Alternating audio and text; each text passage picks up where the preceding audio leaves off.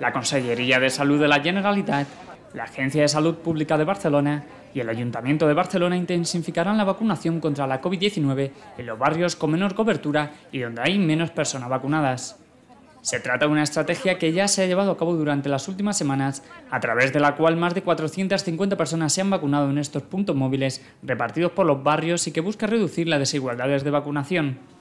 La regidora de salud del Ayuntamiento de Barcelona, Gema Tarafa, apunta cómo los datos de vacunación van ascendiendo tras el final del verano importante que conozcamos los, datos de la vacunación en la ciudad de Barcelona. Van en aumento, pero hay que subir todavía más la cobertura de vacunación. Estamos en primera dosis en un 83% de la población y en un 75% en doble dosis. Por tanto, es una cobertura que, que va ascendiendo. Pero... Mientras la secretaria de Salud Pública, Carmen Cabezas, señala cómo estas estrategias sirven para llegar a toda la población estrategias más universales y estrategias que van a llegar a las personas que tienen más dificultades para, para acceder a los puntos de vacunación y que es complementario los puntos de vacunación más poblacionales, más fijos, los centros de atención primaria y estos puntos móviles para llegar a toda la población. Durante septiembre los puntos móviles se establecerán en Ciudad Meridiana, el Raval, la Marina de Port y el Gothic.